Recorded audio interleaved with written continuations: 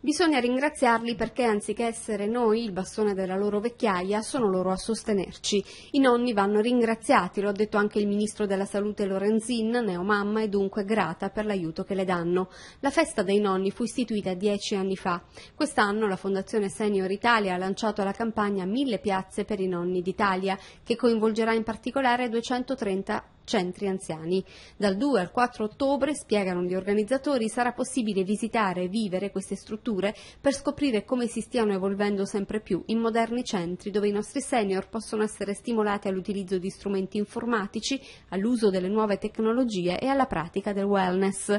L'evento offrirà anche l'occasione per una raccolta fondi. I centri anziani sono del tutto autonomi e autogestiti, acquistando nei centri coinvolti una cartolina celebrativa della festa dei nonni con un'offerta libera del valore minimo di 2 euro si potrà contribuire al loro sostentamento. Stessa cosa potrà essere fatta con le donazioni online.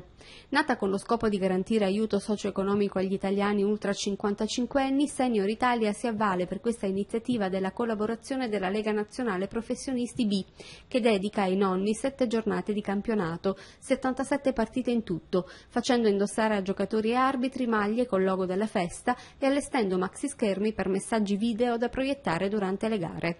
Quando si cresce si rischia di dimenticare l'importanza che i nonni ricoprono o hanno ricoperto nelle nostre vite, ha dichiarato il presidente della Lega Serie B, Andrea Abodi.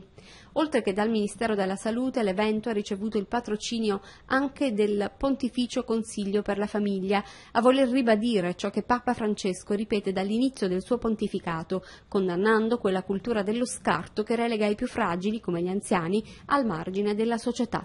Lino Banfi e il calciatore della Roma Alessandro Florenzi sono invece i testimonial della campagna, il primo per essere diventato il nonno libero d'Italia nella fiction tv Un medico in famiglia, il secondo per avere abbracciato la nonna Aurora seduta in tribuna all'Olimpico dopo aver segnato un gol importante.